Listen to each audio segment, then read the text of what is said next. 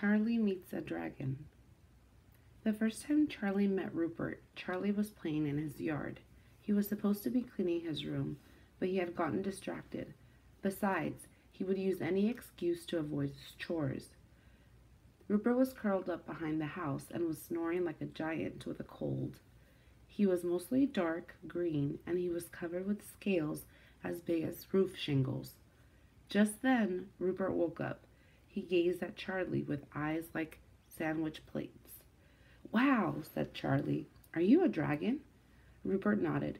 Yes, I am a hungry dragon. Do you have any food? Well, um, sure, Charlie stammered. I'll get you some, but then you will have to tell me where you came from and how you got here. Rupert agreed. So Charlie ran into the house and filled a bag with a head of lettuce, two oranges, a loaf of bread, and some peanut butter. Then he raced back outside. He wasn't sure what dragons eat. As Rupert happily munched on the food, he told Charlie about his homeland and the huge cave he lived in. It sounds like you miss your home, Charlie said. Why are you here? They made me leave because I refused to do my work, Rupert explained sadly. Every dragon must work, and my job was to take care of the garden, but I like taking naps instead. I was warned many times, and then they made me leave. Charlie could see how Rupert was, and that got him thinking about his own situation. He had to work too. He promised Rupert that he would come back the next day. When Charlie got to his room, he left he felt energized. He looked around at the mess.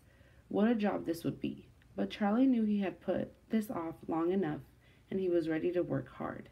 As Rupert had learned the way the hard way, everyone has to work has work that must be done. 1. Click the detail that best supports the conclusion that Charlie is procrastinating. The first time Charlie met Rupert, Charlie was playing in his yard. He was supposed to be cleaning his room, but he had gotten distracted. Besides, he would use any excuse to avoid his chores. Rupert was curled up behind the house and was snoring like a giant with a cold.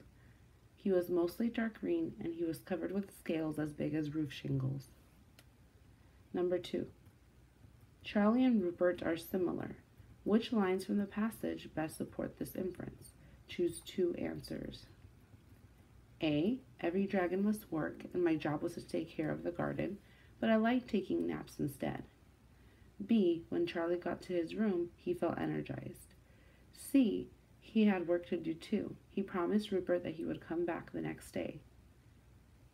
D. The first time Charlie met Rupert, Charlie was playing in his yard. He was supposed to be cleaning his room, but he had gotten distracted.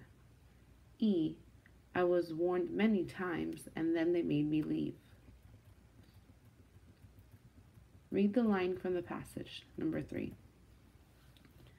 They made me leave because I refused to do my work, Rupert explained sadly. Every dragon must work, and my job was to take care of the garden, but I like to take naps instead. I was warned many times, and then they made me leave. What does the underlined word most likely mean? A. Procrastinated on. B. Was upset about. C. To fuse again. D. Not willing to do something. Number four. What did Charlie promise Rupert? A. That he would clean his room. B. That he would come back the next day. C. That he would make dinner. D. That he would clean outside. Number five.